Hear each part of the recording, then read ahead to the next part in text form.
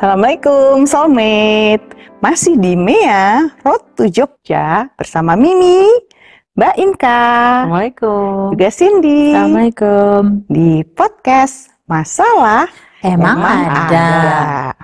Ada nih kalau aku kali ini Habis diomelin anak Kenapa? Aduh Tapi sedih juga ya diomelin anak Tapi sebel juga gitu. Gara-gara itu loh mbak. Gara-gara lagi ngobrol di mobil kemarin aku habis jemput dia terus aku ngobrol eh di kalian tuh ya kalau Mimi meninggal Mimi mati Hmm. kalian tuh baik-baik aja ya jangan nakal terus apaan sih orang ngomong-ngomong mati orang kita baru lagi. Baru kita selesai jalan-jalan ke mall ngomongin mati. Hmm. gitu. Kan kayaknya emang salah mbak. Kayaknya kayak Iya. salah gitu. Gitu Iya, kan iya. pernah nggak lu sin Sering lah, kita di mana-mana kalau begitu ngomong nanti kalau Hmm. belum mati, aduh, aduh, aduh, amit, amit, amit, amit, jangan dong, jangan dong, ngomong mati dulu gitu. Mm, iya. Kayak pamali gitu ya ngomongin Aib ya. mati ya, Mm-mm ya. Apalagi kalau ada petugas asuransi gitu kan ya, Bu. Agen-agen. Maaf, mm-mm, Bu, maaf ya Bu ya, maaf banget Bu nanti kalau Ibu mati. Iya sih. Ngomong mati gitu kayaknya Suatu gitu ya. masalah gitu kayaknya Mm, kalau mm. kita mau ngomong Iya. kalau kita mati nanti Mm-mm, gitu ya mm-mm, mm-mm. Sementara kan kita pernah ya di Mea ya. Iya Oh, ingat. ada dok Ah, ada iya kok kan? Di juga dari yang sudut pandang spiritual tuh ada Beda kan? beda gitu banget. kan. betul Coba deh. seriesnya Mia Ika. seriesnya Iya Mia kan? tentang kematian tentang betul, kematian. Tapi kali ini kita pengen apa eh, mencoba berpikir lagi lebih betul. dalam dalamnya Mm-mm. tentang kenapa sih kok kok kita kayaknya alergi banget ngomongin sama mati mati. itu mm-mm, Ya. kayaknya aib gitu jangan Gitu. ngomongin mati. Gimana tuh Mbak Inka dari sudut pandang Iya. spiritual?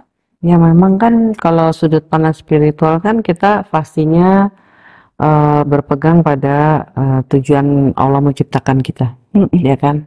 Tujuan kita diciptakan dalam surat Az-Zariyat 56 kan Mm. Allah mengatakan bahwa tidak kuciptakan jin dan manusia semata-mata untuk mengabdi padaku. Ya, gitu. Badah. Berarti kita diciptakan untuk hanya satu hal yaitu taat. Mm-mm. gitu kan. Taat itu adalah menjalankan perintahnya, menjauhi larangannya. Nah, taat itu satu pekerjaan gitu, artinya satu pekerjaan hati gitu, Hmm. bukan akal. Jadi kita nggak bisa taat dengan eh, ilmu yang nempelnya di sini. Hmm. Kita banyak sekali orang tahu ilmu agama, Ya. tapi nggak bisa eh, sulit dalam mengamalkannya. Nah, kan berarti kan eh, perlu per- yang perlu dicerdaskan sebenarnya bukan ilmu agamanya, akalnya gitu, tetapi ilmu agama ini bagaimana caranya menjadi suatu kesadaran yang tertancap di dalam kalbu. Ya. Karena ketaatan itu adalah kemampuan hati. Hati. Hmm. Demikianlah Ya. Rasulullah SAW sudah uh, memberikan syafaat kepada kita bahwa kita kalau kita ingin taat, perilaku taat, maka isilah kalbumu, kalb, ya kan ada Iya, daging di dalam, dalam tubuh, tubuh manusia. manusia. Kalau daging itu baik, baik perilakunya, daging Ya. itu bernama kalbu. Nah, jadi bermodalkan dari situ, maka kita bisa merasakan bahwa berarti mati ini sebenarnya dalam konteks hati itu gimana cara memahaminya, Iya, kan iya, gitu iya. ya kan. Konteks hati. Iya. Nah, memang kembali lagi kalau kita belum mengenal siapa diri sejati, Hmm. tentu saja kita jadi kebingungan masuk spiritual. kembalinya ke situ ya Iya, mbak ya karena mengenal diri sejati. kan ranahnya kalbu. Iya. Goib. Ya, bayangkan ya ranahnya kalbu, kita mau mengkaji-kaji pakai akal. Ya, Salah nyambung selama ya. ini. Iya pinter ilmu agama tapi nggak bisa prakteknya. Ya. Padahal sulit. prakteknya, actionnya itu adalah kalbunya yang harus praktek. Hmm. Nah, di dalam spiritual dikatakan bahwa kita hanya yang namanya taatu mengikuti kehendak Allah dan Rasulnya. Hmm. Nah, Rasulullah SAW menyuruh kita ingat mati 20 kali sehari. Hmm. Bahkan dikatakan orang yang cerdas itu adalah orang yang sering Ingat mengingat-ingat mati mati. Hmm. Kenapa? Pasti nggak mungkin dong nggak ada tujuannya ya Iya. kan Betul. ya Sampai ingat mati itu supaya kita tidak lalai dalam kehidupan ini Hmm. untuk mengumpulkan perbekalan Iya. Hmm. sehingga apa sehingga kalau kita mengingat mati dan apalagi mati itu kapan saja Iya. pasti kita tidak akan tenggelam dalam urusan Pesan orang ukhrawi gitu. Hmm. kita pasti eh, akan giat mengumpulkan perbekalan nah bagaimana menghadapi anak-anak Mm-mm. yang takut gitu kan. Nah memang kebenaran tuh pahit ya. Tapi kan Iya. kebenaran itu seperti obat. Ya walaupun pahit Tapi- menyembuhkan. jadi Bicara. memang kita eh, memang per- eh, orang tua itu kita memang punya tugas. Artinya kita harus berikhtiar bagaimana ceritanya menyampaikan kematian itu sesuai dengan usia anak Hmm. sehingga Hmm. dia juga mendengarkannya juga Enak, Oh, masa, enak. masa- enak untuk Masuk, diterima iya. gitu ya. iya ya. gitu. untuk ditangkap oleh mereka Iya. ya. Jadi kalau ada orang yang bilang jangan ngomong-ngomong mati, pamali, Mm. kita udah kebayang kok pastinya kan Allah bayangin ya mati itu kan pasti. Ya. Kan berarti kalau kita mati kita ke alam akhirat. Nah Ya. orang yang nggak mau ingat mati itu akan kebayang seperti di Al-Quran dikatakan orang yang tidak beriman pada kematian maka perilakunya akan buruk, Hmm. sifatnya buruk. Jadi Hmm. memang orang-orang yang sifatnya buruk ya emang nggak ingat mati. Iya ya. Kenapa orang zolim? Ya kan? Hmm. Karena Kenapa? mati. Karena dia nggak ingat mati. Kalau dia mati. ingat mati mana Nggak berani? mau. Iya, nggak berani pasti zolim. Iya, ya kan? Mm-mm. Nah, Makanya em, benar kata Rasulullah orang yang cerdas itu yang sering Mengingat ingat mati ya. Jadi kita gimana? Ya emang harus ingat mati. Tapi tentunya yang mengingat mati itu si aku, Hmm. Ya, aku yang, yang ini. tidak terlihat. Nah, nanti anak-anak kalau kita lama-lama kita ini kita mengingat mati kepada Hmm. kita, eh, kita sendiri yang melakukan, nanti anak-anak juga paham Hmm. gitu, Hmm. bahwa bahwa mati itu suatu kepastian, Iya. Ya, tidak perlu dihindari. ya, karena kita. Iya. apa-apa yang hidup pasti ada mati. Pasti, Mati, Iya. mati sunatullah. Mati Iya. kan bukan karena tua, bukan karena Bukan muda, karena sakit. bukan Karena sakit. Pengatur Ya, tapi kan Ya. memang sudah ajal, gitu kan pengaturan. Makanya eh, kapan saat yang paling te- tepat mengingat mati? Ya ketika ada ada yang meninggal depan kita, Hmm. Yang paling- pelajarannya untuk mudah untuk Ingat ya. menjaring ajarannya. Hmm. Nah, Makanya kan Rasulullah bilang kita datang disuruh datang takziah Mm-mm. ya kan untuk mengambil pelajaran dari kematian Iya. supaya kita mempersiapkan perbekalan kita. Mm-mm. Tapi kalau kita datang ke tempat kematian kita foto-foto, reuni. reunian, ngobrol-ngobrol, warawiri, ya tentu kita Ya, ya. nggak akan merasakan kematian itu pasti. Dan itu pasti orang yang alergi dengan bicara mati. Jadi, Jadi gampang ya. gampang. Indi- Indikatornya semakin Indikator. jelas ya Mbak ya. Iya, Iya. kita gampang kok Melihat dia. orang yang alergi dengan kematian. Kematian. Lihat perilakunya ya, Mbak.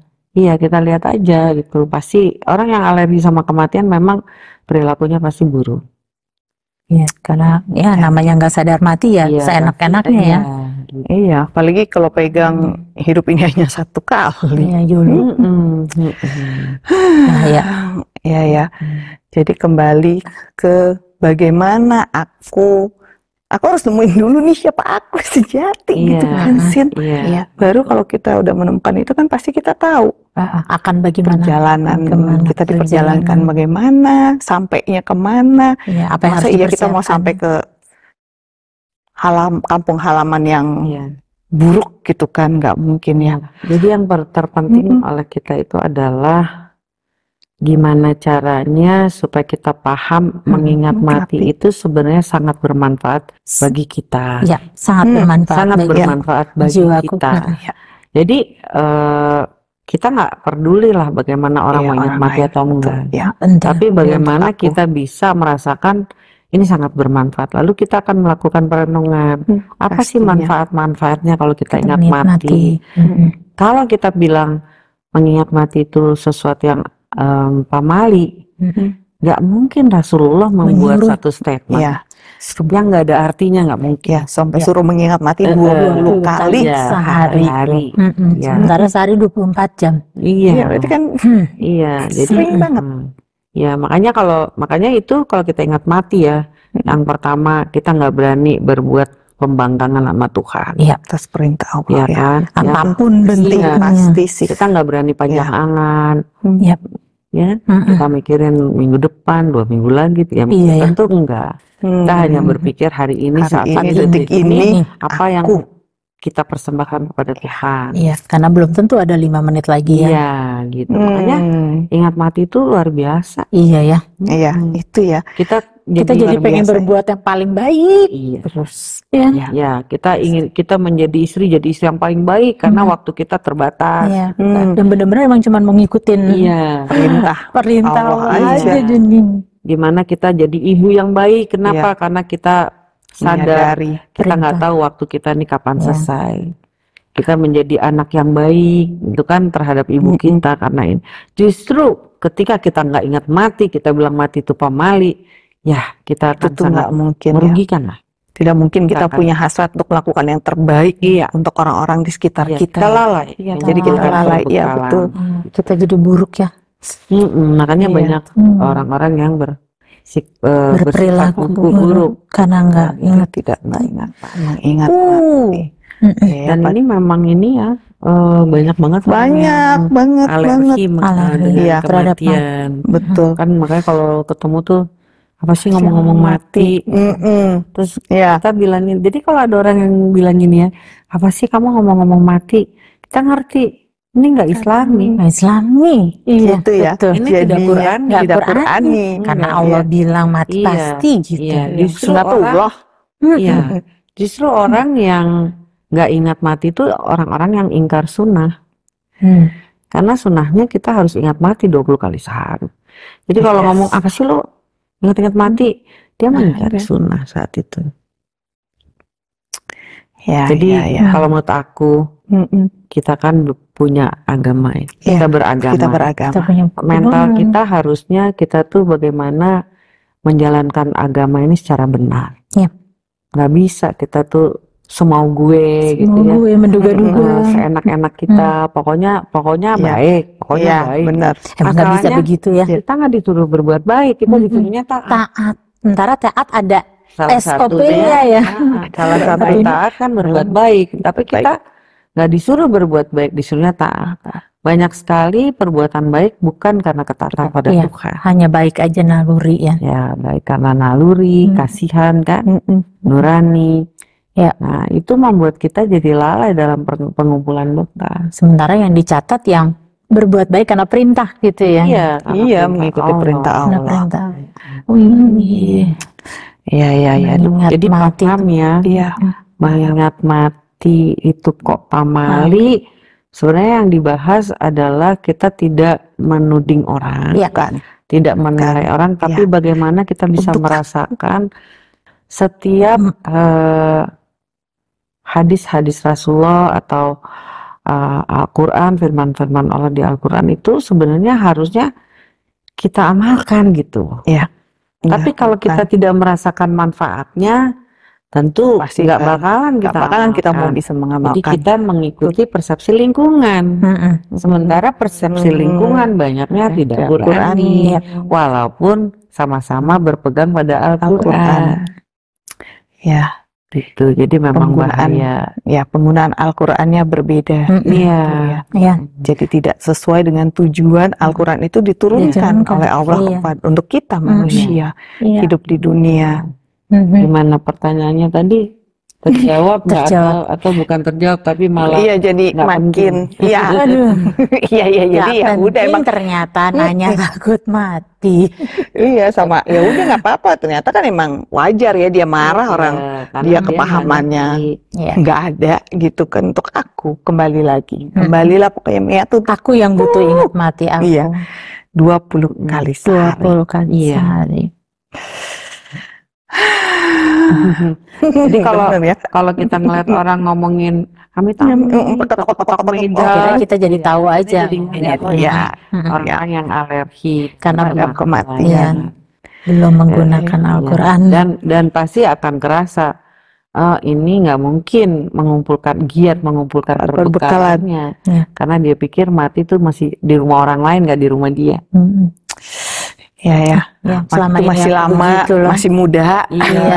belum sakit-sakitan, masih Iya. seger gitu ya. Mm-mm. Kepedean, aduh ya ampun, ih apalagi segitunya udah ya. tua udah tua nih umurnya Mm-mm. udah di atas Udah, 70 mm-mm. masih alergi ngomong mati coba gimana Nah, iya iya iya iya iya ya ampun iya ya.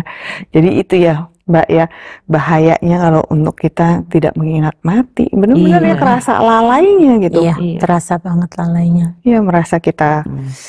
Baik-baik aja, merasa Iya. kita tahu, merasa kita Iya. mampu. Mm-mm. Tapi ternyata, Iya ih, tiba-tiba lagi kepedean gitu kok hilang gimana kok Itu dia ngobrol. Bang sementara banyak banget kan contoh-contoh di depan kita. Iya, yang fenomena-fenomena begitu. udah Itu yang harus banyak kita renungin terus ya buat kita ya. Iya. Iya. Ketika kita mau gimana, ih, belum tuh ada lima menit lagi.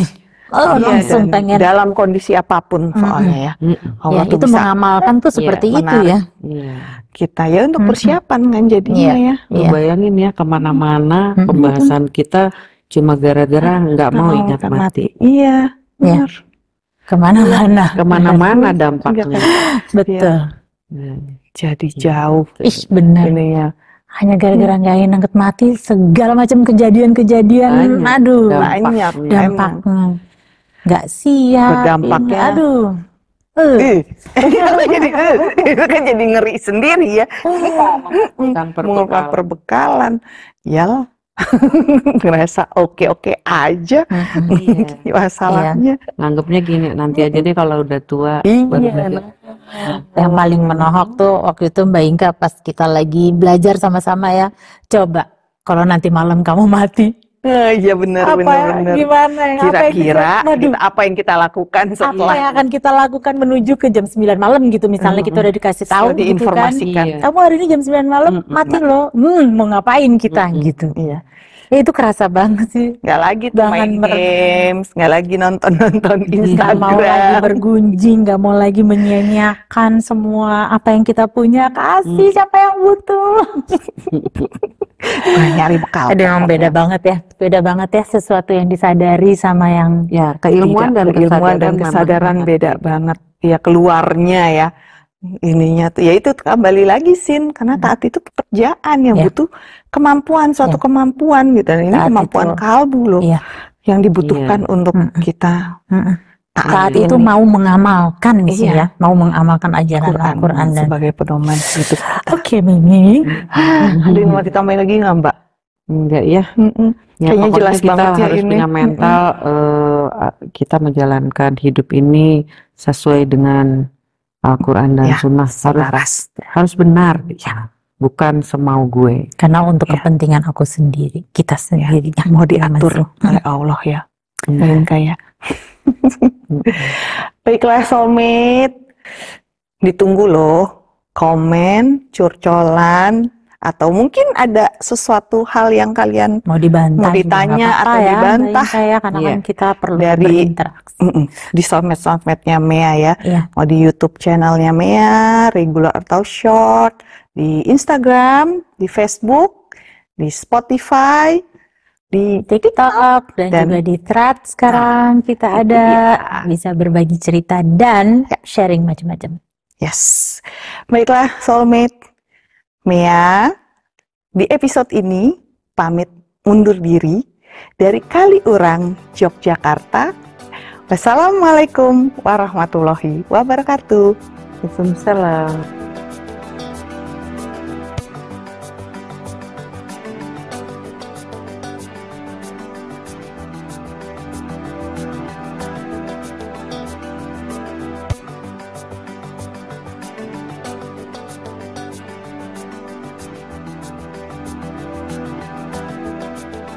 Sudah nonton episodenya Masalah Emang Ada?